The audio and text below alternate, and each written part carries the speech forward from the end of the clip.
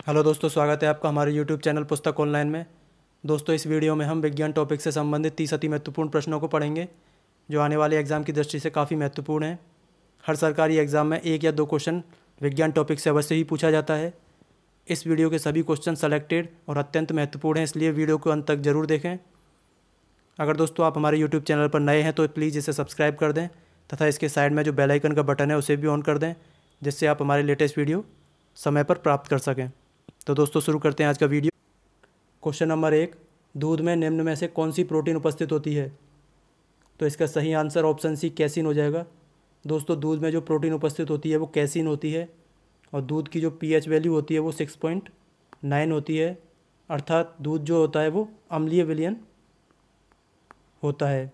और दूध में दोस्तों लैक्टिक एसिड उपस्थित होता है। और दोस्तों, मानव शरीर में कैसिन को पचाने के लिए रेनिन एंजाइम होता है जो कि कैसिन को पैरा कैसिनेट में कन्वर्ट करता है। तो इससे आप ये भी याद रखेंगे। नेक्स्ट है क्वेश्चन नंबर टू, कूलिज नली का उपयोग किसके निर्माण में किया जाता है? तो इसका सही आंसर ऑप्शन सी, एक्स किरण हो जाएगा। यानी कि दोस्तों, कूलिज नली का उपयोग एक्स किरण के निर्माण में किया जाता है। एक्स किरण का आविष्कार रॉन्जन नामक वैज्ञानिक ने किया था। एल्फा किरणों की खोज रदरफोर्ड ने की थी, गामा किरणों की खोज, पॉल विलार्ड ने की थी। और दोस्तों, इलेक्ट्रॉन की जो खोज की थी वो सर जे जे थॉमसन ने की थी। नेक्स्ट है क्वेश्चन नंबर थ्री नाभिकीय रिक्टर की खोज किसने की थी?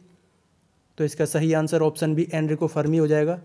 यानी कि दोस्तों एनरिको फर्मी ने नाभिकीय रिक्टर की खोज की थी। ऑटोहन तथा स्ट्रोसमन ने नाभिकीय विखंडन अभिक्रिया का पता लगाया था। और परमाणु बम जो होता है दोस्तों, वो नाभिकीय विखंडन अभिक्रिया पर ही आधारित होता है। और दोस्तों, अल्फ्रेड नोबल ने डायनामाइट की आविष्कार किया था। एडवर्ड टेलर ने हाइड्रोजन बम का आविष्कार किया था। और हाइड्रोजन बम जो होता है दोस्तों, वो नाभिकीय संलयन अभिक्रिया पर आधारित होता है। नेक्स्ट है क्वेश्चन नंबर फोर, संधारित्र की धारिता का मात्रक क्या होता है? तो इसका सही आंसर ऑप्शन डी फेराडे हो जाएगा। यानी कि दोस्तों, किसी भी संधारित्र की जो धारिता होती है, उसे फेराडे में मापा जाता है।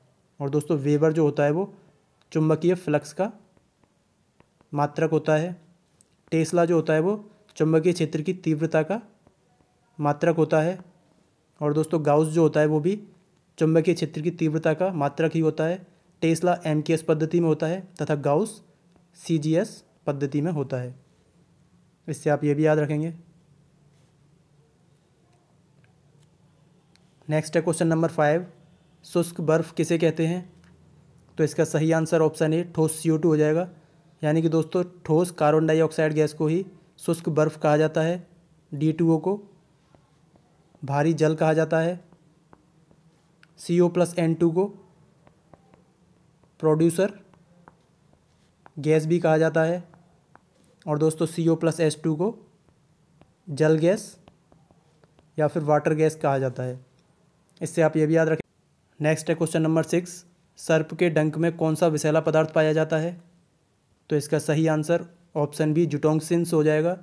यानी कि दोस्तों, सर्प के जो डंक में पदार्थ पाया जाता है, वो जुटोंगसिंस होता है और जिंक फास्फाइड का उपयोग चूहा नाशक दवाई बनाने में किया जाता है।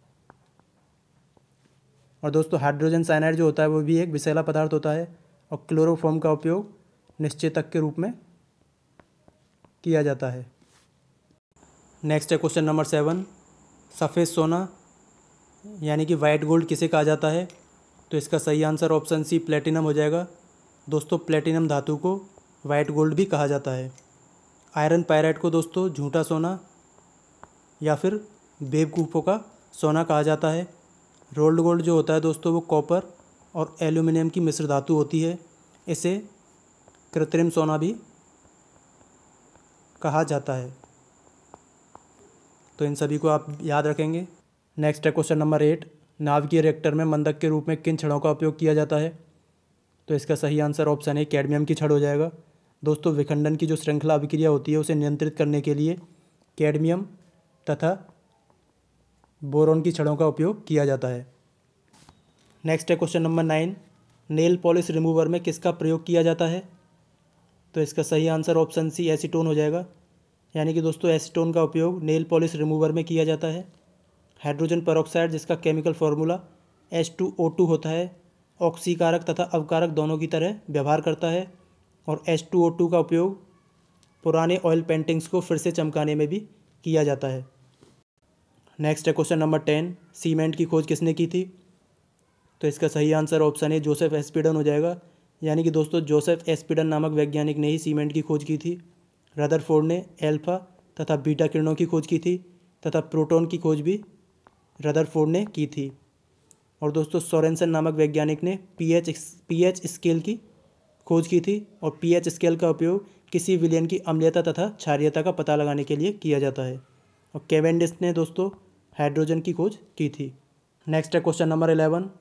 सोना तथा प्लेटिनम को गलाने में किसका उपयोग किया जाता है? तो इसका सही आंसर ऑप्शन ए, अम्लराज हो जाएगा।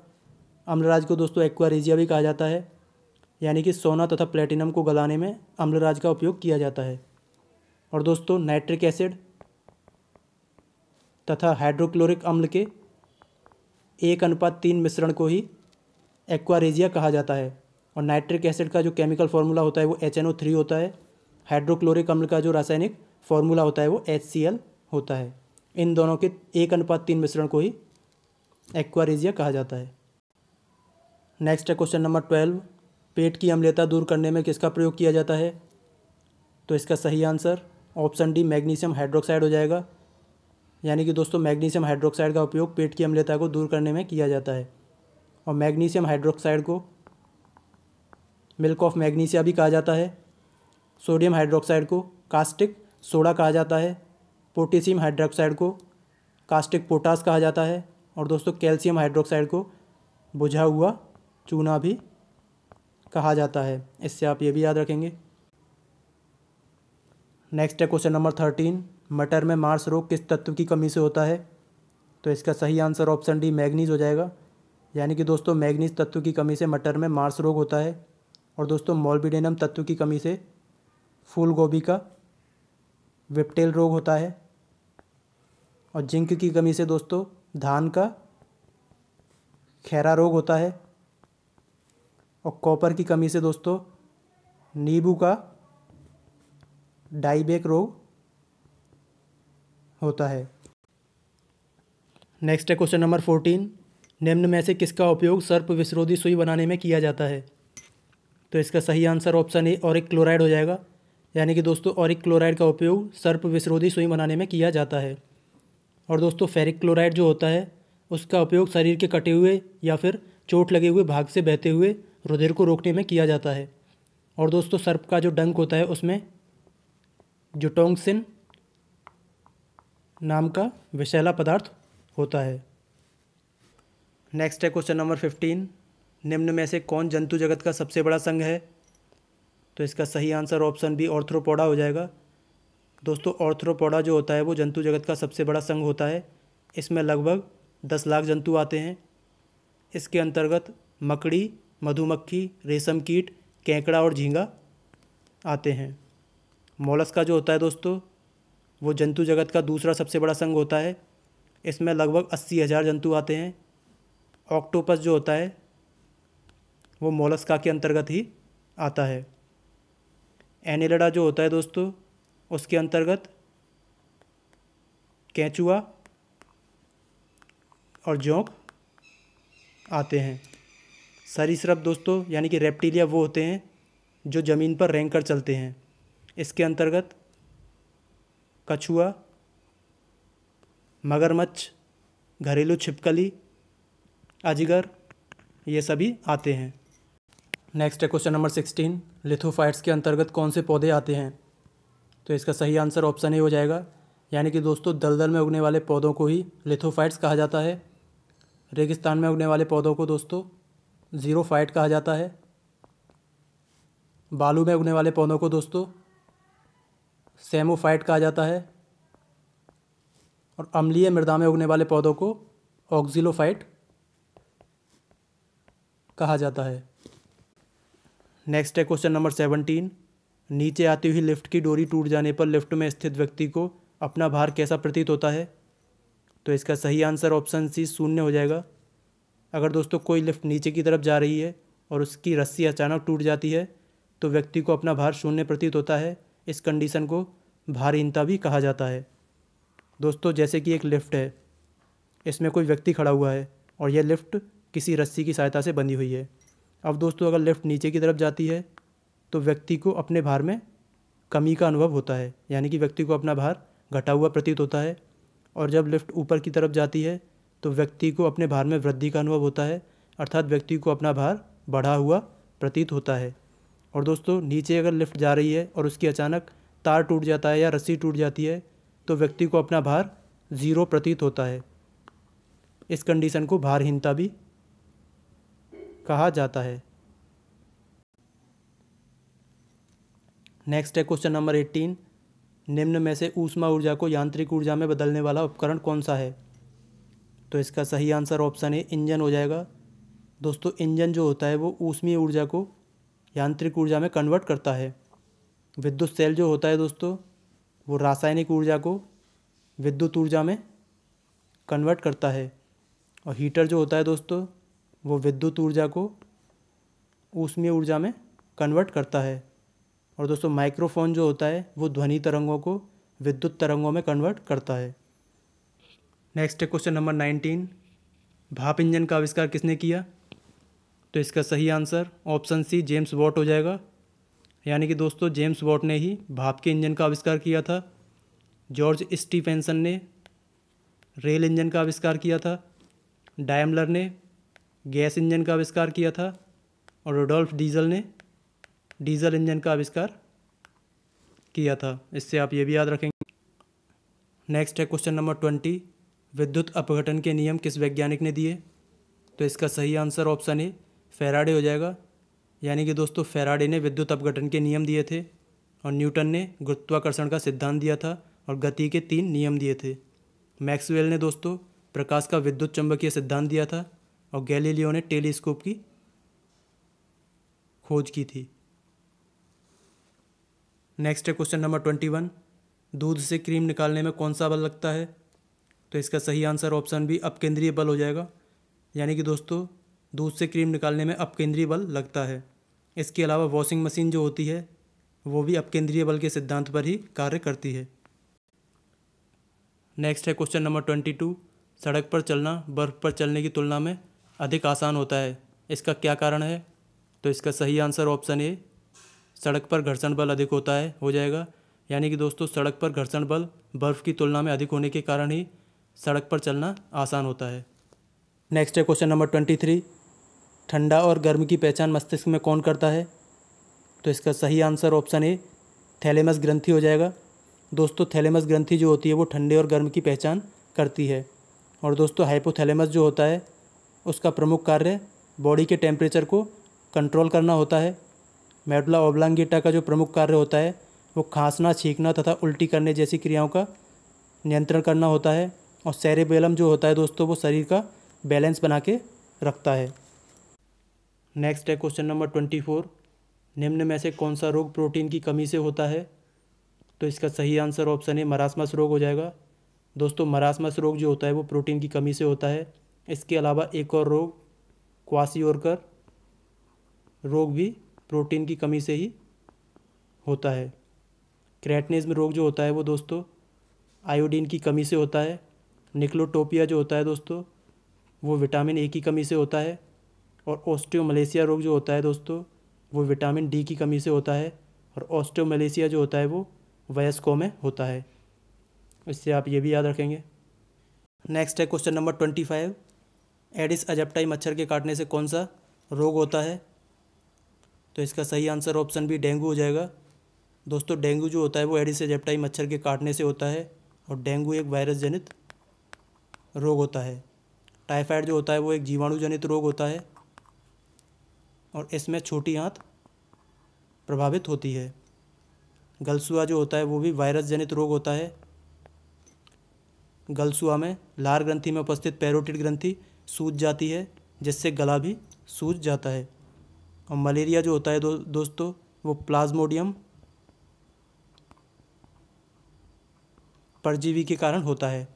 मलेरिया दोस्तों मादा एनाफ्लीज मच्छर के काटने से होता है और मादा एनाफिलीज मच्छर में प्लाज्मोडियम नाम का परजीवी उपस्थित होता है। नेक्स्ट है क्वेश्चन नंबर ट्वेंटी सिक्स। जब बर्फ़ पानी पर तैरती है तो बर्फ़ के आयतन का कितना भाग पानी के ऊपर रहता है? इसका सही आंसर ऑप्शन ए, एक बटे दस भाग हो जाएगा। दोस्तों, बर्फ़ का घनत्व जो होता है, वो पानी के घनत्व से कम होता है। इसलिए बर्फ़ जो होती है, वो पानी के ऊपर तैरती है और तैरती हुई बर्फ़ का एक बटे दस भाग पानी के ऊपर रहता है। नेक्स्ट है question number twenty seven. Grignard अभिकर्मक को बनाने में किस धातु का प्रयोग किया जाता है? तो इसका सही आंसर ऑप्शन बी, मैग्नीशियम हो जाएगा।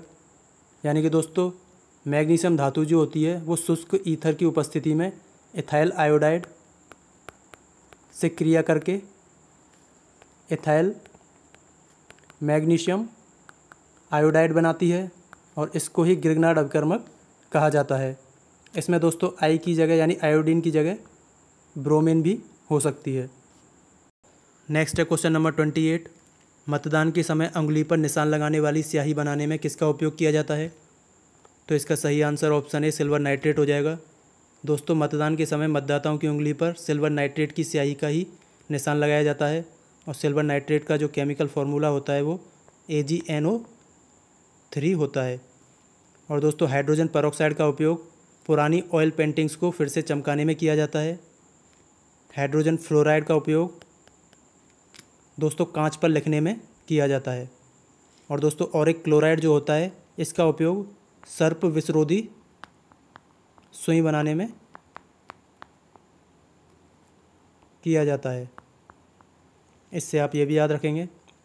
नेक्स्ट है क्वेश्चन नंबर ट्वेंटी नाइन एक पीढ़ी से दूसरी पीढ़ी में आनुवंशिक गुणों को कौन ले जाता है? तो इसका सही आंसर ऑप्शन बी डीएनए हो जाएगा। दोस्तों डीएनए जो होता है, वो आनुवंशिक गुणों को एक पीढ़ी से दूसरी पीढ़ी में ले जाने का कार्य करता है। और डीएनए की जो फुल फॉर्म होती है, वो डीऑक्सी राइबोज न्यूक्लिक एसिड होती है। और दोस्तों, आरएनए जो होता है, वो प्रोटीन संश्लेषण का कार्य करता है।